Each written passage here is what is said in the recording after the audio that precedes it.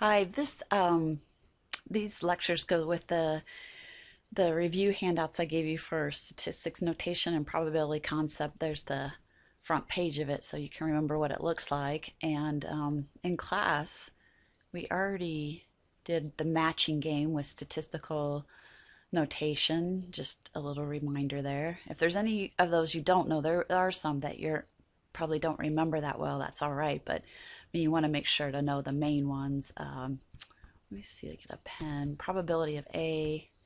Um, that's of course the important one and we'll do a lot of f of x which is just that density function and mu I wouldn't be surprised if you didn't remember capital F I think x bar you know s hopefully you remember z is a standard normal but yeah I mean that's partly uh, we have to review to re to remember these terms so that's fine let's go down so um, I'm going to break these up just a couple pages for video this one is just uh, these first two pages now are just reminding you about the branches of statistics and population versus sample um, definition of statistics. It's just a discipline where you're concerned with obtaining data. You want to do it as efficiently as possible, and you know this can be very hard. There's lots of ways to sample to get good data.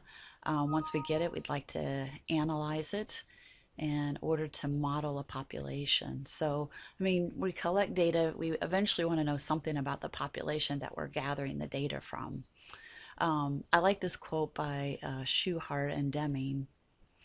Um, not so much are we worried about making everybody a statistician, but having engineers and others be able to think statistically to, you know, improve the workplace and, um, you know, things that you should be noting to people about, you know, it's important to have a random sample. It's important before you run certain tests that you have nice normally distributed data. So that's what that's trying to say. Um, reminder, there's two kinds of statistics. Uh, one of them is just descriptive statistics. And descriptive statistics is just you get a sample of data and you describe it either numerically or graphically. Um, you know, you find the important I don't know, what do you important number summaries about the data set. So that might be, you know, the mean of the data, the median, the the let me see standard deviation. So they're just numerical summaries of the data. They're called statistics. And we can also use graphs to do it, you know, stem and leaf plots. You might not remember, but I'm sure you've seen histograms. Um, we did box plots um, in 223. Um, so here's kind of the layout for the different kinds of statistics.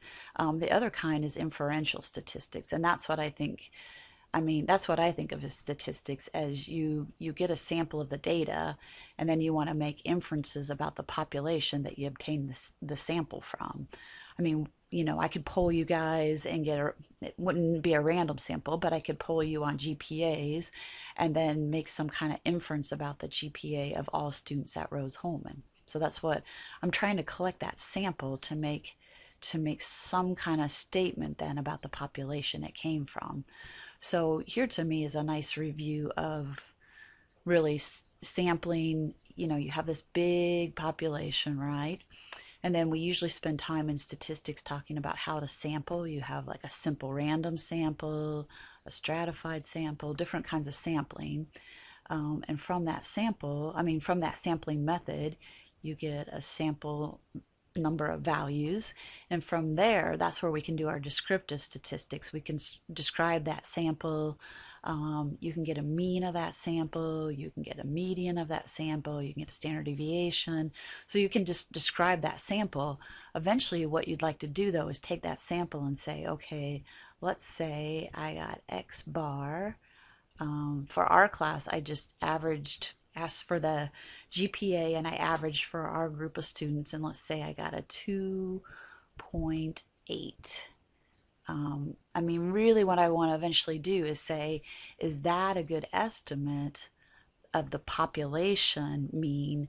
And the population mean is mu. You probably remember that notation. Mu is uh, the mean of a population.